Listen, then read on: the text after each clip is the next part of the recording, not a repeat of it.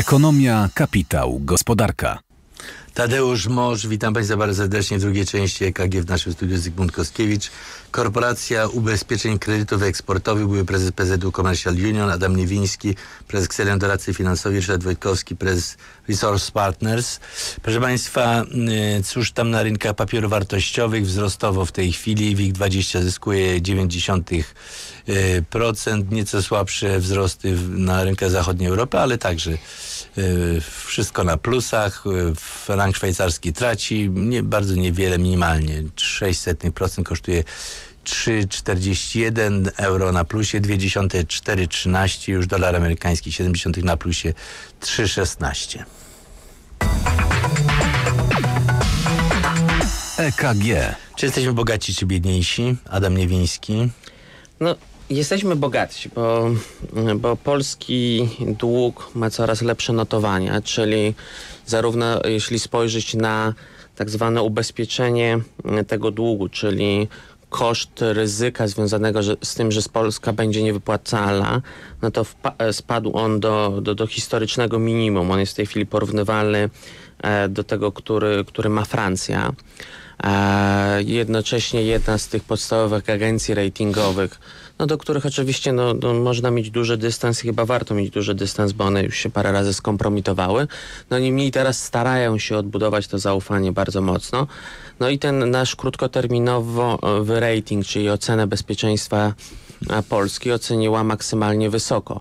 Co to nam daje? No to nam daje oczywiście to, że e, po pierwsze państwo finansuje się taniej, czyli e, rząd polski, Ministerstwo Finansów musi płacić niższe odsetki od emisji długu, a te potrzeby dłużne na ten rok polski są bardzo duże.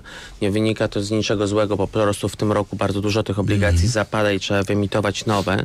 W związku z tym to, że jesteśmy oceniani jako bardzo wiarygodny kraj, stwarza dużą szansę, że zaoszczędzimy na odsetkach wypłacanych w dużej mierze e, inwestorom zagranicznym, ale też oczywiście polskim.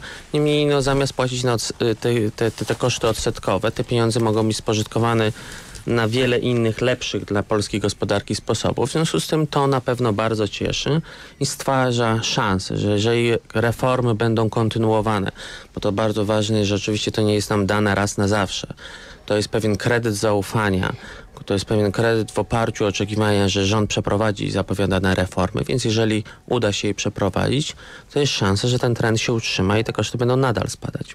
Panie prezesie, jeśli można trochę dziegciu do tej beczki z miodem. Ryszard Wojtkowski no to y, ten krótkoterminowy rating jest na takim samym poziomie jak takich potęg gospodarczych jak Bułgaria czy Rumunia i w dużym stopniu spowodowany jest tym, że mamy otwartą linię kredytową w Międzynarodowym Funduszu Walutowym. Natomiast y, długoterminowy, który bardziej jest związany z makroekonomiczną jakością naszej gospodarki, on nie uległ zmianie. Jest ciągle niższy niż krajów w regionie, jak Estonia, jak Czechy, jak Słowacja.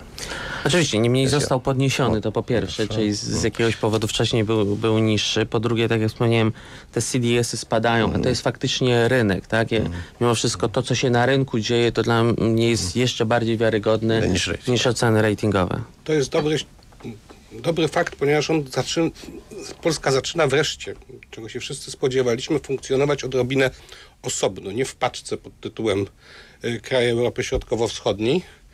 Y, I to odklejanie się szczególnie od Węgier y, ma dla nas zasadnicze znaczenie dla postrzegania Polski, bowiem tak naprawdę sytuacja tych krajów jest dość różna. Wszystkich czterech, nawet z Grupy Wyszehradzkiej, to w gruncie rzeczy każdy jest przypadkiem osobnym i od gospodarek z ogromnymi kłopotami jak węgierska, poprzez gospodarek stosunkowo mało dynamicznych, choć stabilnych jak czeska, do Polski, która rzeczywiście jest i makroekonomicznie solidna i jeszcze szybko się rozwija, to są naprawdę przypadki zupełnie różne. No a do tego jeszcze, żeby nieco więcej dziechciu dodać, to już o tym mówiliśmy w radiu oczywiście, ale może warto przypomnieć, że inflacja wzrosła znów, y, tymczasem i, to wbrew oczekiwaniom analityków, którzy, oczeki, y, którzy spodziewali się stabilizacji cen. Ceny konsumpcyjne w lutym były o 4,3%, przypominam, wyższe niż rok temu. Resort Finansów liczy na spadek y, inflacji marcowej. Y, także y, to jest taki fakt y, dosyć, dosyć nie, nie, niemiły. No. Niemiły, bo, bo świadczy o tym, że mamy mniej, mniej w kieszeni. ni niestety. EKG. Proszę Państwa, chciałem polecić Państwu dzisiejszą politykę i temat tygodnia z polityki. Yy, Tekst y, Marka Henslera.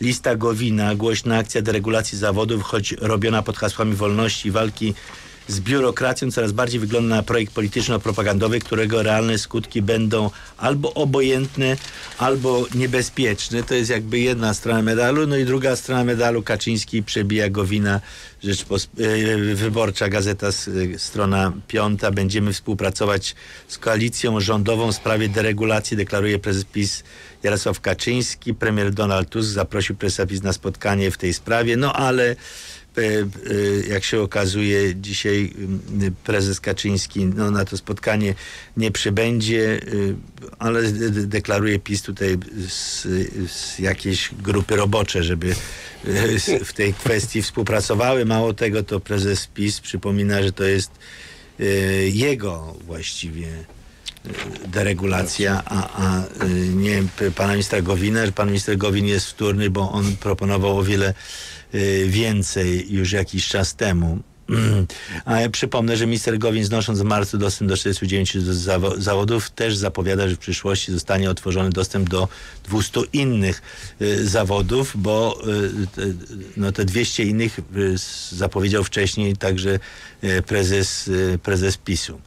Kolejne propozycje ministra Gowina mają być przedstawione y, w lipcu. No i wracam jeszcze do tego tekstu z y, tygodnika Polityka. S- I ba, bardzo takie krótkie oceny, jeśli chodzi o zawody prawnicze. Prawnicza ściema, taki jest tytuł. Ocena w sumie zmiany kosmetyczne do zaakceptowania. Trenerzy na wolności, chodzi tu o trenerów, instruktorów sportowych i tak dalej. Ocena, zmiana radykalna, marnie uzasadniona, o trudnych dziś do wyobrażenia skutka, jeśli chodzi o bezpieczeństwo uprawiania e, sportu. E, s- Jacek Żakowski jakiś czas, czas temu w Gazecie Wyborczej miał wątpliwości, no, czy powierzyłby, e, e, powierzyłby opiekę nad swoim e, dzieckiem, jeśli chodzi na przykład o, o, naukę jazdy na nartach, takiemu instruktorowi bez, bez uprawnień. Yy, Dalej, yy, taksówkarze, nasza ocena, zmiana niby kosmetyczna, ale o potencjalnie groźnych skutkach. Nie chodzi tu o pobłądzenie w mieście, no bo tu uzasadniano, że jest GPS, to nie trzeba znać topografii miasta. Przypomnijmy sobie zmorę gangów taksówkowych z lat 90., pisze Marek e, Hensler. Śmiejecie się z tego, tak? No, zaraz się odniesiecie. Przygrywka do mm, prywatyzacji, zmiana, nasza ocena, zmiana bez większego znaczenia, obniżająca formalne kwalifikacje służb zatrudnienia, być może to przygrywka do prywatyzacji urzędów e, pracy. Tutaj chodzi o doradców e, najróżniejszych za, zawodowych. Dalej, cieć zarządcą, czyli nie trzeba uprawnień do tego, żeby y, być na przykład zarządcą nie, nieruchomości. Ocena, zmiana radykalna, uderzająca prestiżowo w obie korporacje, które i tak nie miały żadnego monopolu na swoje usługi. Także chodzi tutaj o pośrednictwo w obrocie nieruchomościami. Mm, y, Wolne przewodnictwo, czyli chodzi tu o tych przewodników turystycznych najróżniejszych. E, Ocena, zmiana radykalna, po której przez najbliższe lata na turystycznym rynku może być spore zamieszanie, wzrost agresywnej konkurencji, niechęci do korzystania z przewodników w ogóle. Żegluga szuwarowa, czyli różne tam zawody y, dotyczące, dotyczące sterników i, i innych. Ocena, zmiana kosmetyczna, ale ryzykowna, nie zwiększy liczby miejsc pracy, y, a te na chętnych czekają. Y, Trzy lata za kółkiem, instruktorzy nauki jazdy, prawda? Ocena, zmiana dość obojętna do zaakceptowania, skoro przepis o okresie posiadania prawa jazdy przed ubieganiem się uprawnienia egzaminatora był przepisem martwym. Ochroniarz bez licencji, ochroniarz, detektyw także, prawda? Zmiana ułatwi dostęp do zawodu, ale i obniży stawki płac w super y, spauperyzowanej około 3000 grupie y, zawodowej. Y, Także ta ocena jest dosyć taka, mm, powiedziałbym, no, no nie jest to entuzjastyczna. O tak, nie, nie, niezbyt entuzjastyczna. Znaczy, trzeba powiedzieć wprost, że za każdą regulacją stały jakieś racje. Tak. Teraz należy zważyć, czy suma tych regulacji nie jest przeregulowaniem. Ja się obawiam, że jest. To znaczy, jestem po stronie liberalizacji zawodów. Y, Patrząc na to z punktu widzenia tych następnych paczek, o których pisze dzisiejsza prasa codzienna, na przykład y, niektórych zawodów finansowych, no to y, jest tutaj oczywiście zawsze szereg pytań. E, Ale ja nie widzę, mówiąc szczerze, większego sensu egzaminu brokerskiego państwowego, gdzie są pytania bardzo dziwne. A, a sens E, jakiego egzaminu pan widzi? E, znaczy, ja mam wątpliwości co, co do zawodu dorad- egzaminu. doradcy inwestycyjnego i maklera. Znaczy, rola maklera dzisiaj już spadła, bo tak naprawdę za maklera to pracują w tej chwili komputery w istocie rzeczy i makler jest jedynie dodatkiem do tych komputerów na swój sposób. Inaczej było na początku rynku kapitałowego. Co do doradcy inwestycyjnego, tutaj można mieć jakieś wątpliwości, czy pewien standard nie warto go bronić. Natomiast w wypadku zawodów ubezpieczeniowych 154 godziny szkolenia agenta to jest, przepraszam, y, wymóg formalny, często i tak obchodzony, coś co kosztuje, a wartości dodanej nie ma. W interesie firmy jest to, żeby agent umiał to, co musi umieć, natomiast nakładanie na to jakichkolwiek, że tak powiem, formalnych y, standardów moim zdaniem nie ma sensu, bo i takie łatwo obejść.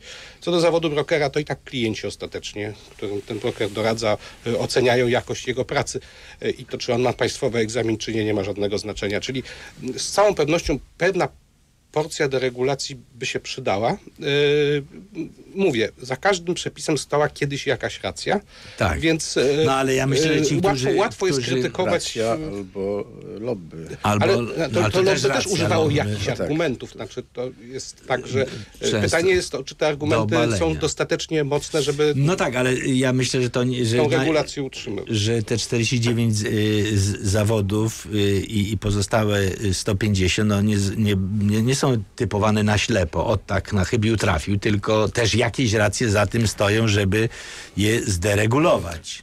Ten projekt na pewno jest bardzo potrzebny i oczywiście się tutaj Adam przyłączam, Niewiński. że każdy zawód oddzielnie powinien być dobrze przeanalizowany, ale oczywiście no już teraz widzimy y, sytuację, gdzie bardzo no, no, ci wspomnieni taksówkarze, no zdarza mi się y, wziąć do taksówki dużej korporacji tylko i, i dowiaduję się, no, że ten kierowca nie ma żadnej licencji. On pracuje w ramach korporacji przewozowej. E, On nie może załóżmy pojechać nowym światem, bo tam mogą wjechać tylko, dokładnie, bo tam jadą tylko taksówki. Mi się wydaje, że jestem w taksówce, okazuje się, że nie jestem w taksówce, jestem w korporacji taksówkowej. Em, także te przepisy są w tej chwili obchodzone. Y, wydaje mi się, że bardzo często niestety ta tak zwana jakaś licencja, bądź ten egzamin państwowy był taką, nazwijmy to, atrapą reputacji. Jeżeli ja mam zaufanie do danej firmy, bo ta firma od lat świadczy usługi, to ja nie wiem, potrzebuję sprawdzać, czy dany jej pracownik ma licencję, czy nie ma licencji, bo jest to kwestia reputacji, jest to kwestia dobrej opinii rynkowej. Bardzo króciutko o taksówkach. Są dwa modele taksówkowe w Europie. Londyńskie i paryskie. W Londynie trzeba zdać egzamin, ale każdy, kto go zda, może tą taksówkę prowadzić. W Paryżu trzeba kupić licencję, ona jest ograniczona ilościowo, w związku z czym nie może być więcej taksówek niż nie pamiętam, jaka tam jest kwota. Jest najmniejsza ilość taksówek na mieszkańca.